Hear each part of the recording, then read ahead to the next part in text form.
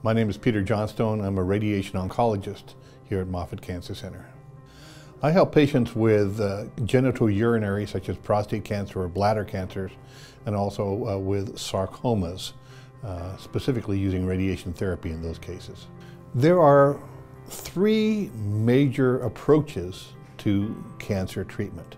The surgical approaches, the systemic approaches, and the radiation approaches and they all intertwine neatly but differently for each type of cancer.